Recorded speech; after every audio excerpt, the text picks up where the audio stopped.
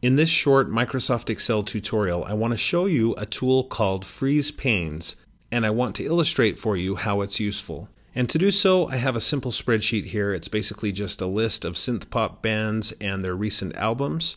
And there's some other information here as well. But notice as I browse down the page, it's easy for me to lose track of what each of these columns represents. Because my column titles, band, album, genre, price, sales, that all gets lost as I browse down the page. Now, this is just a list of 30 records or so. But imagine what if I had a spreadsheet with thousands of records, thousands of rows, or even just hundreds of rows. It would be very easy to get confused about what does this number 1 represent? What does 20 represent? What does it mean? And that's where the freeze panes tool comes in very handy. Basically, what it allows me to do is it makes it so that I can freeze row number one, for example, so that it stays there at the top of the screen and doesn't disappear and go away. So as I browse down the page, I would always be able to see row number one. Let's look at how to activate freeze panes. There are basically two different ways you can do it.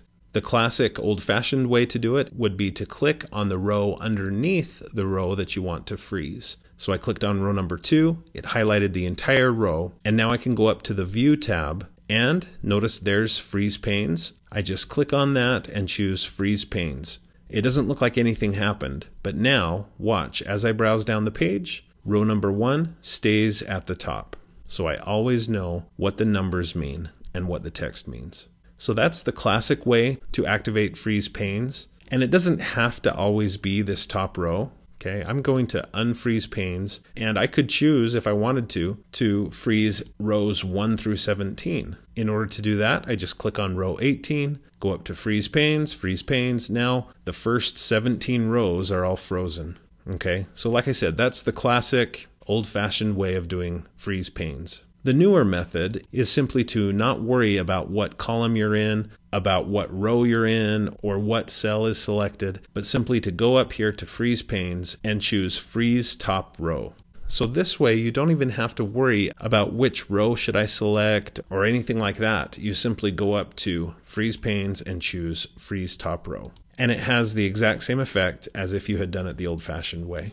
Notice that there is also an option to freeze the first column. If you choose that, then the column at the far left stays visible no matter how far to the right you go. So I hope you find freeze panes to be helpful, and I hope that you found this video to be helpful. If you have, please click the like button below and consider connecting with me on my social media websites like Twitter, Facebook, and Pinterest. And definitely do subscribe to my YouTube channel for more videos about technology for teachers and students, and watch for another video from me at least every Monday. And if you're interested, check out these bands by looking in the description below. You'll find links to more information about them.